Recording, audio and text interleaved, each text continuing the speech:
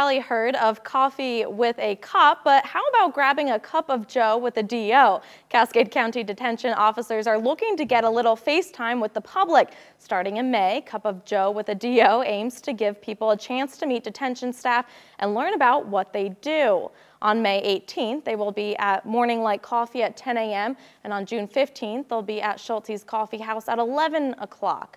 Cascade County Adult Detention Officers Union president says they are looking to interact with the community outside the detention center confines.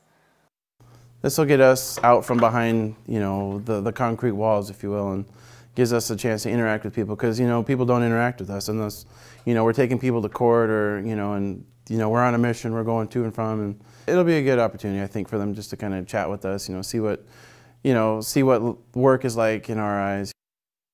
A portion of the proceeds will go to the union's Community Involvement Fund, which allows them to donate to charities or helping detention staff in need.